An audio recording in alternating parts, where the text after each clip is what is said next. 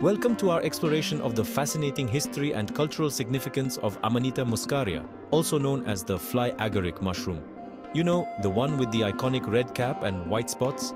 The one that's practically a cultural icon in its own right, showing up everywhere from fairy tales to Super Mario Brothers. But there's so much more to this mushroom than meets the eye. Join us as we delve into the spiritual, ritualistic and shamanic uses of this iconic mushroom across various cultures. We'll uncover how this seemingly simple organism has captivated the human imagination for millennia. Our journey begins in the frozen wilderness of Siberia, home to the shamans who have long held a deep connection with the natural world. For centuries, Siberian shamans have used Amanita muscaria to enter trance states, embarking on spiritual journeys to commune with the spirit world, seek divine guidance, and unravel the mysteries of life and death. Picture this, a lone shaman, cloaked in the furs of animals, venturing into the heart of the taiga, the vast Siberian forest. He carries with him a pouch containing Amanita muscaria, carefully dried and prepared. The shaman prepares a fire, the flames casting dancing shadows on the surrounding trees. With reverence, he ingests the mushroom, either directly or perhaps steeped in hot water to create a potent brew. As the effects of the mushroom take hold, the shaman feels himself slipping into an altered state of consciousness. The boundaries between the physical and spiritual realms begin to blur and he embarks on a visionary journey guided by the spirits of the forest. These journeys are not mere flights of fancy, they are deeply spiritual experiences through which the shaman seeks wisdom, healing and a deeper understanding of the interconnectedness of all things. Our exploration of Amanita muscaria takes us westward to the snow-covered landscapes of northern Scandinavia, home to the indigenous Sami people. The Sami, like many cultures who share their lives with reindeer, have a deep understanding of the plants and animals that inhabit their world. And within their traditions, Amanita muscaria holds a place of particular significance. Sami shamans, known as Noaides, have long used the fly agaric mushroom as a tool for spiritual exploration and healing. Imagine, if you will, a Sami shaman clad in traditional garb, preparing for a sacred ceremony. He carefully collects Amanita muscaria mushrooms, their red caps vibrant against the snowy backdrop. These mushrooms are not just for the shaman's consumption, however. They are also fed to the reindeer, who seem to share a peculiar affinity for the intoxicating effects of the mushroom. And here's where things get really interesting. The Sami discovered that the psychoactive compounds in Amanita muscaria are filtered and perhaps even concentrated when passed through a reindeer system. So, the shaman would collect the reindeer's urine and consume it, allowing him to experience the mushroom's effects with potentially fewer side effects. It's a fascinating example of how humans have adapted to their environment and learned to work with the natural world in ingenious ways. From the frozen north, we journey southward to the lands of the Vikings, fierce warriors and explorers who struck fear into the hearts of many. Could there be a connection between the legendary ferocity of the Viking berserkers and the intoxicating effects of Amanita muscaria? Imagine for a moment the thunderous roar of a Viking longship, its prow adorned with a fearsome dragon's head as it cuts through the waves. On board, a band of warriors prepares for battle, their faces grim, their eyes burning with an almost supernatural intensity. These are the Berserkers, the Viking shock troops known for their ferocious fighting style and seemingly superhuman strength. They would work themselves into a frenzy, casting aside their shields and armor and charge into battle with reckless abandon. Could Amanita muscaria have played a role in inducing this trance-like state of fury? While historical evidence is scant, it's a tantalizing possibility. And beyond the battlefield, it's believed that Germanic and Norse tribes may have incorporated Amanita muscaria into their rituals dedicated to Odin, the All-Father, god of wisdom, war, magic, and, wait for it, poetry. That's right, the Vikings weren't all blood and thunder, they appreciated a good poem too. But I digress. The use of Amanita muscaria in these rituals, if true, speaks to the mushroom's ability to facilitate altered states of consciousness, allowing those who partook to connect with the divine and tap into hidden realms of power. Chapter 5 Whispers from the Pacific Northwest In the heart of the Pacific Northwest, where the trees whisper secrets and the rivers sing ancient songs, we find the Amanita muscaria. This mystical mushroom has been the subject of many legends and tales. Some say it can grant visions, others say it just makes you see funny colors. Chuckle. Imagine yourself standing amidst towering cedar and fir trees, the air thick with the scent of damp earth and pine needles. Sunlight filters through the canopy above, casting an ethereal glow on the forest floor.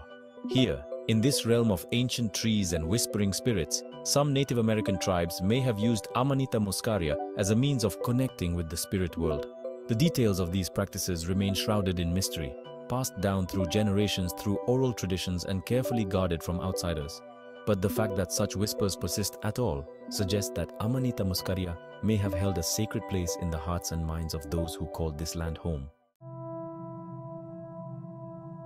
Chapter 5 Ancestral Echoes in Central Asia Our exploration of Amanita muscaria's cultural significance takes us now to the vast steppes of Central Asia, a region steeped in history and tradition.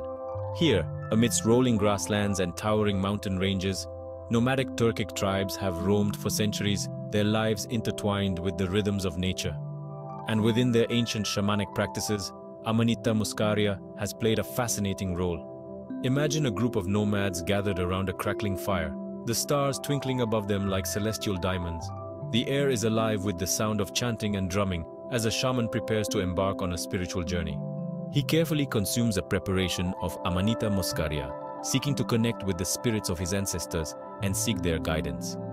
Ancestor worship is a cornerstone of many Central Asian cultures, and Amanita Muscaria may have served as a conduit between the living and the dead, allowing the shaman to tap into the wisdom and knowledge of those who came before. These rituals were not merely about honoring the past, however, but also about ensuring the well-being of the present and the future. By seeking the blessings and guidance of their ancestors, the nomads sought to maintain balance and harmony in their lives and in the world around them.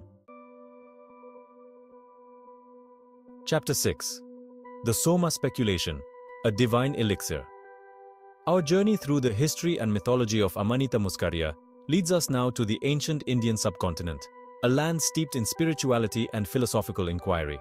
Here, amidst the hymns and verses of the Rigveda, one of the oldest sacred texts in Hinduism, we encounter a mysterious substance known as soma.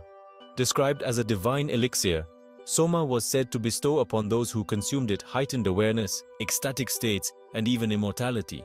But the true identity of soma has been a matter of debate and speculation for centuries. Enter ethnomycologist R. Gordon Wasson, who in 1968 proposed a bold theory that soma was in fact Amanita muscaria. Wasson pointed to the Rigveda's vivid descriptions of soma's effects, which bear striking similarities to the known effects of the fly agaric mushroom. He argued that the mushroom's intoxicating properties could account for the ecstatic states and divine insights attributed to soma. While Wasson's theory remains controversial, it has sparked a fascinating debate among scholars and enthusiasts alike. Could this humble mushroom, so closely associated with Siberian shamans and Viking berserkers, also be the key to unlocking one of the most enduring mysteries of ancient India? The question remains open, but the possibility is certainly intriguing. Chapter 7 A Mushroom of Myths and Fairy Rings Our exploration of Amanita muscaria's cultural impact takes a turn into the realm of folklore and fairy tales, where the line between reality and imagination blurs. For centuries, this striking mushroom has been linked to magical beings and supernatural occurrences in the folklore of various cultures. Picture yourself wandering through a mist-shrouded forest, the air thick with the scent of moss and damp earth. Suddenly, you stumble upon a ring of mushrooms, their red caps dotted with white, seemingly glowing in the dim light. This, according to European folklore, is a fairy ring, a place where fairies dance and revel under the moonlight. Amanita muscaria with its vibrant colors and intoxicating properties, has long been associated with these enchanted realms, believed to be a favorite food of fairies and other mystical creatures. But the mushroom's folklore isn't always so whimsical. In some traditions, Amanita muscaria is linked to witchcraft and sorcery, its potent effects seen as a source of both healing and harm. Whether viewed as a gateway to the realm of fairies or a tool of witches, Amanita muscaria has undoubtedly left its mark on the human imagination, inspiring countless tales of magic, mystery, and the supernatural. Chapter 8 Ancient Practices Modern Revivals Our journey through the cultural history of Amanita muscaria brings us to the present day, where this ancient mushroom is experiencing a resurgence of interest among those seeking to reconnect with nature, explore altered states of consciousness, and tap into the wisdom of ancient traditions. In neo-shamanic and neo-pagan circles, Amanita muscaria is revered as a powerful ally for spiritual exploration and healing. Practitioners approach the mushroom with a deep sense of respect and reverence, recognizing its potential for both profound insights and potential risks. Modern-day shamans may incorporate Amanita muscaria into their rituals and ceremonies, using it as a tool for divination, journeying and connecting with the spirit world. They may also work with the mushroom for its purported healing properties, seeking to address physical, emotional or spiritual imbalances. It's important to note that the use of Amanita muscaria in contemporary shamanic practices is not without its critics. Some argue that it's a dangerous practice that should be avoided, while others believe that it should only be undertaken under the guidance of an experienced practitioner. As with any powerful tool, respect, knowledge, and careful preparation are essential. Chapter 9 From Shamanic Ritual to Santa Claus Our final stop on this journey through the cultural history of Amanita muscaria takes us to a perhaps unexpected destination, the realm of Christmas traditions. While it may seem like a stretch to connect this ancient mushroom with the jolly old elf himself, some scholars believe there may be a link, albeit a speculative one. The theory goes something like this. Siberian shamans, as we've discussed, have long used Amanita muscaria in their winter solstice rituals. During these ceremonies, they would often dress in red and white clothing, colors associated with the mushroom itself. They would also collect Amanita muscaria mushrooms from under pine trees, a practice that might sound familiar to anyone who's ever seen a Christmas tree adorned with presents. And then there's the reindeer connection. As we've learned, reindeer have a peculiar affinity for Amanita muscaria and its intoxicating effects. Some scholars believe this association between shamans, reindeer, and the red and white mushroom may have influenced the development of the Santa Claus myth as we know it today, with the flying reindeer and the jolly old elf in his red suit. While this theory is far from conclusive, it's a fascinating example of how ancient traditions and beliefs can evolve and transform over time, taking on new meanings and associations. The enduring allure of Amanita muscaria. Thank you for joining us on this journey through the cultural history of Amanita muscaria. From the frozen wastelands of Siberia to the depths of the Amazon rainforest, we've explored the many ways this unassuming mushroom has captivated the human imagination for millennia. We hope you found this exploration as enlightening as the ancient rituals themselves. The world of ethnobotany, the study of the relationship between people and plants, is full of such fascinating stories, reminding us of the deep connections that exist between humanity and the natural world.